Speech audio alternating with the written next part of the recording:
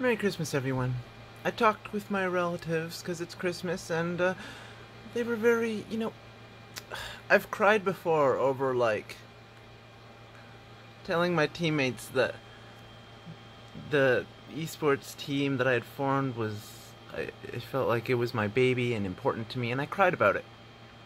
Um, this was when that team was on the verge of breaking up. It broke up.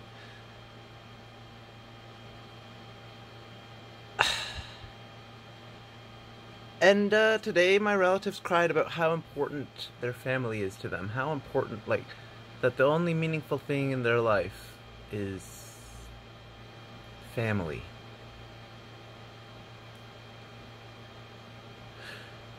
And uh, I don't think I'll ever feel that way because um, the most important thing in life to me is to minimize suffering. And um, animal suffering it's not gonna go away. Um, that's not a good thing. But like, seeking meaning, like, don't have to go very far for that. And I remembered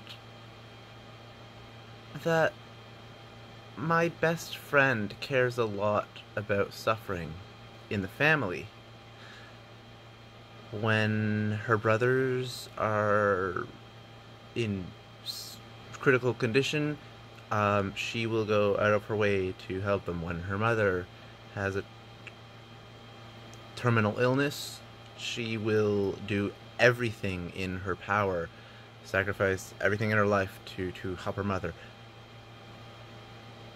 And when there is, when she's decided to never have children and she gets pregnant, then you can't kill that life. As soon as the neurons form, that's a life, and you're obligated to save that life. Raise it as a child. now, um, natalism. Natalism aside, like one month after a pregnancy, uh, that that's a that's a thinking child it's a thinking animal. So, why don't we have that obligation of protecting life towards every innocent life? Why only our own? Why only our own children? Why only our own family? That's because of tribalism. That's an animal instinct, maternal, paternal instinct to protect our family, to protect our own tribe. So that's what differentiates us from animals. But you know what? Animals also have that other animals others also have that instinct maternal instinct. So a mother feeling that that compulsion that obligation to protect her child cows feel that too. And cows babies as soon as they're born they are kidnapped um, and half of them are killed because the bulls are killed at least in canada um, especially in factory farming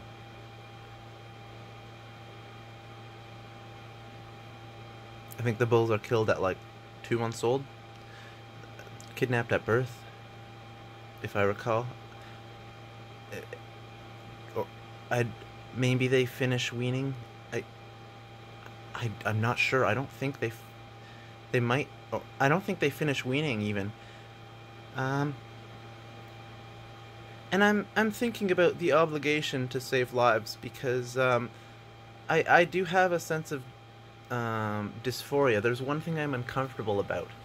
You know, a lot of people, a lot of people find um, pleasure in in believing that God guides their lives, that that if they remain spiritual, then they'll receive divine guidance. Uh, some people find a lot of meaning in dreams. Uh, that that dreams can be prophetic. Uh, that dreams help them find like their inner selves. So I'll share an experience that I had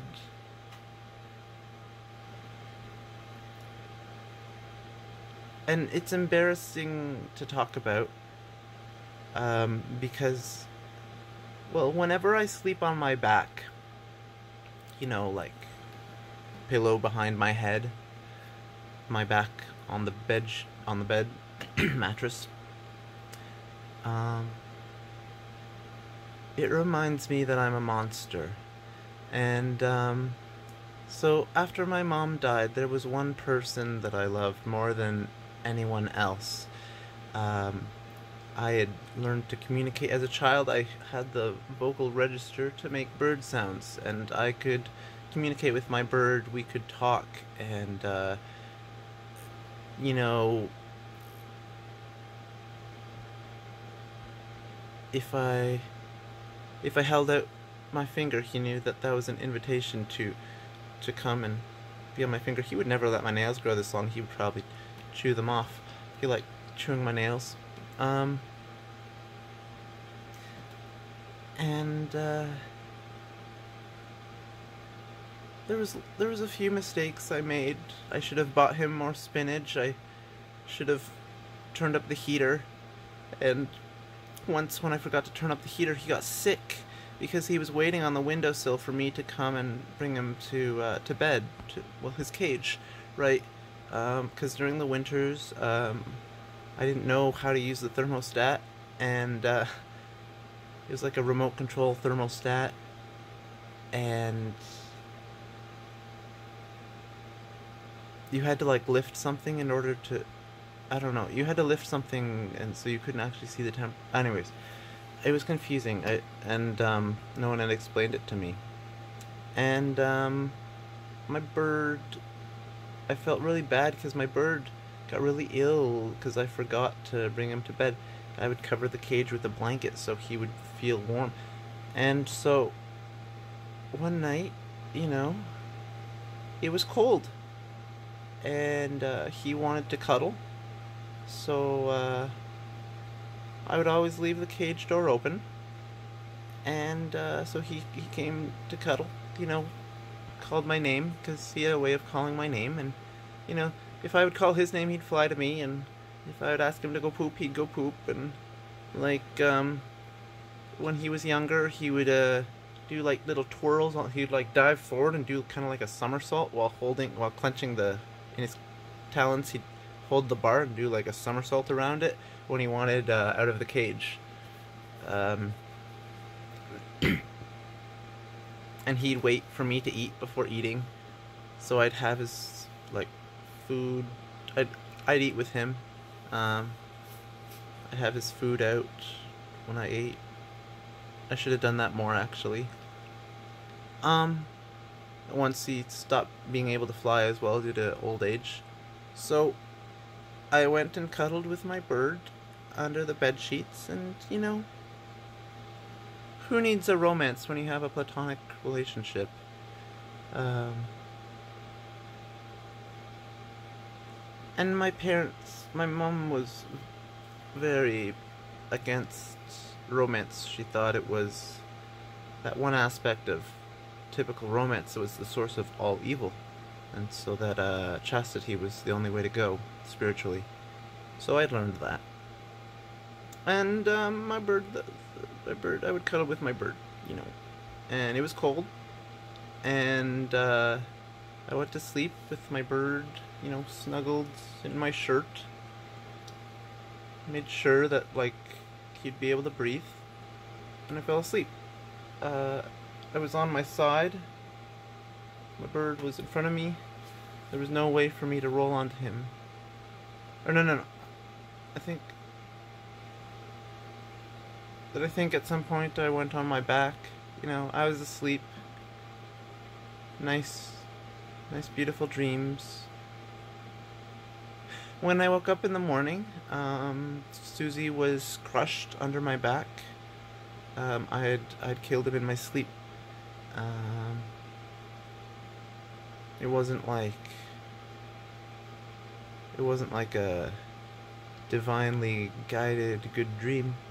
Um, I had a nice dream of crushing my bird in his in my sleep. Um, that warmth was actually probably his dying struggles. And yeah, so last, well, when I had a nap, you know, I, I dreamt that he was struggling again, and it was actually, I woke up and it was my heart beating.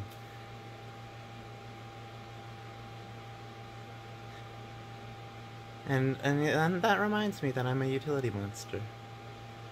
Um, I was sad because um, my cousin, who I respected, was a vegetarian, and uh,